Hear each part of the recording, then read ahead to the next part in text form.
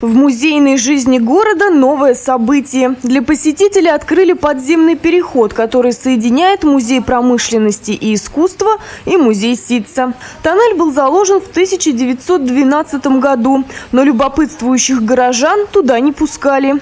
Теперь в переход может прийти любой желающий и познакомиться с первой в истории города экспозицией, посвященной Дмитрию Геннадьевичу Бурылину. Мы хотели создать вот такую экспозицию, рассказывающую о его корнях, о его жизни, э, о том, как он создал из своих домашних коллекций вот этот великолепный музей промышленности и искусства. Таким образом, подземный переход символизирует жизненный путь известного собирателя.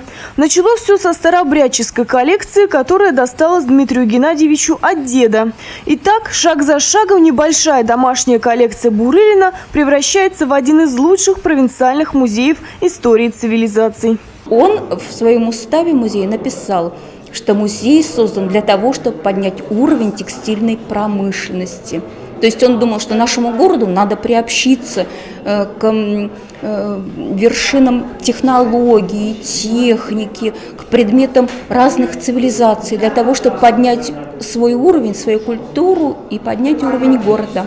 Сам Бурылин признавался, что музей – это его душа. Необъяснимое и мистическое присутствие бывшего хозяина работники хранилища искусств чувствуют до сих пор. Призрак Бурылина частенько обходит свои владения. Многие мистические случаи связаны именно с Бурылиным. Ходит, реагирует, дает знаки. Э, ну, именно из подземного перехода, шорохи, шаги. Здание старое, оно, конечно, вибрирует, живет, и поэтому, конечно, идет какие-то колебания. И мало кто знает, что такая безобидная чертовщина творится прямо в центре города. Проезжая по улице Батурина, сотни машин ежедневно пересекают самое мистическое и загадочное место Иваново.